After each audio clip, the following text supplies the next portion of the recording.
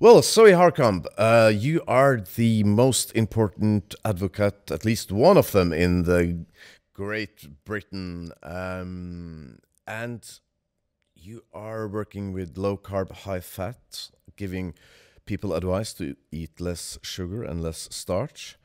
Uh, how is the message working right now?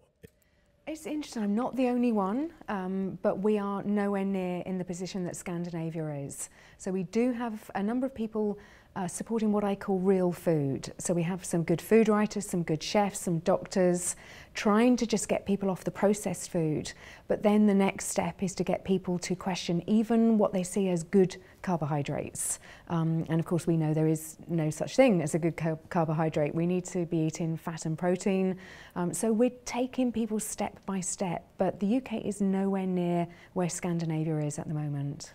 Zoe, you got a book from us, uh, from Little Moon Publishing House. We wanted to present LCHF, uh, which we have been working with um, in Sweden and Norway from 2005 and just gaining more and more and more support. Um, and you say that this author, Sofie Hexeberg, should be the Norwegian health minister. And why is that? Because she should. I mean, the advice is just so sensible.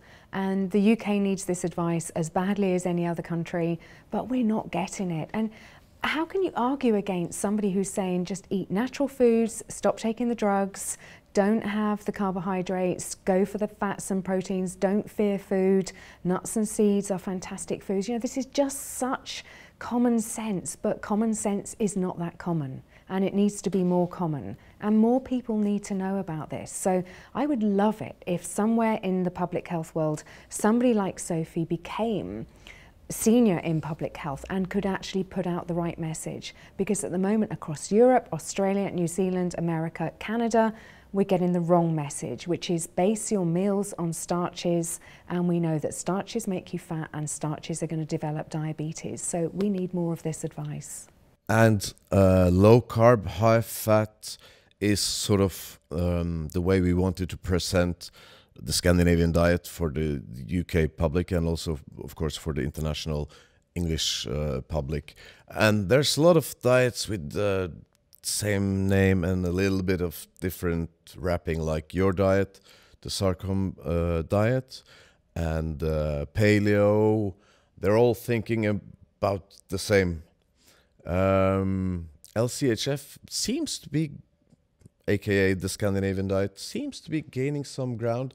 You are going to a conference in South Africa. Uh, there are good things happening as well. Swedish doctor is speaking there, Andreas Eenfeldt. So, so something, some good things are happening at the same time as we are struggling. I've never thought of, of it as low carb, high fat because I describe myself first as a real food person. But I like, the more I think about low carb, high fat, the more I like the message because at the moment what we've got is low fat, high carb. And I think we need to get that message out there strongly as an equal counter to this low fat, high carb.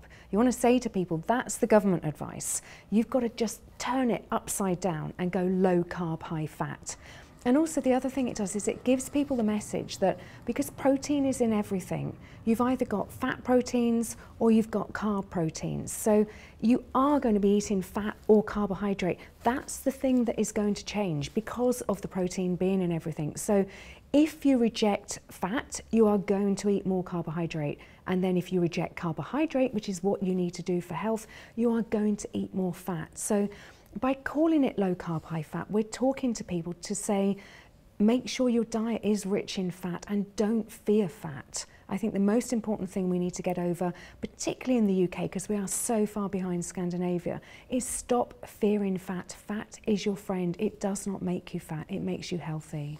And that's why uh, we in Little Moon Publishing wanted to brand low carb, high fat as a Scandinavian diet because LCHF, low carb, high fat, was such a big thing here, and still is. It's it's growing day by day, but still there are of course resistance from conservative nutritions. Um, Scandinavian diet, LCHF. Do you think we will succeed? Oh, I hope so. I, I, like the fact that it's going to be connected with Scandinavia forever. So if this does change in our lifetime, and I have to hope that it does, otherwise so many people are going to die sooner than they need to, um, then this will be what Scandinavia has brought to the world. So America brought the low fat, high carb dietary advice and the obesity epidemic and the diabetes epidemic. That's what America will be known for. And wouldn't it be wonderful if Scandinavia could be known for completely reversing that and giving health back to the world in the same way that America took it away? The Harcombe diet, low carb, high fat, and the Scandinavian diet, they represent the same thing and they can work together they they start from the basis of having real food. So I just think if you make that first step of having real food, and then you look at where the nutrition is, and the nutrition is found in the foods rich in fat and protein. So it's found in meat and fish and eggs and dairy foods. You then just naturally make the choice to eat more animal foods and not as much plant food, plant produce. And then you end up low carb, high fat. If you eat to get the nutrients that you need to be optimally healthy, you will eat a low carb, high fat diet. It is just the outcome of choosing optimum nutrition. And uh, of course, the Scandinavian diet, LCHF, is very, very tasty.